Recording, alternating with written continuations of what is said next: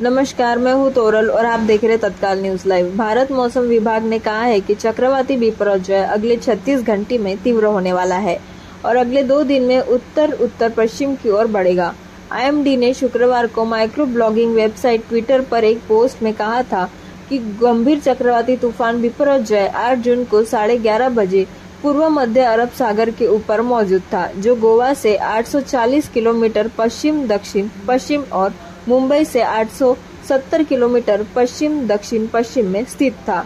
Twitter में कहा गया है कि बहुत गंभीर चक्रवाती तूफ़ान बिपरोजय 8 जून को रात साढ़े ग्यारह बजे पूर्व मध्य अरब सागर के ऊपर मौजूद था। यह अगले 36 घंटे के दौरान धीरे धीरे गति पकड़ेगा और अगले दो दिन में यह उत्तर पश्चिम की ओर बढ़ेगा। मौसम विभाग ने मछुआरों से भी अरब सागर के ऐसे चक्रवात प्रभावित क्षेत्रों में न जाने की सलाह दी थी।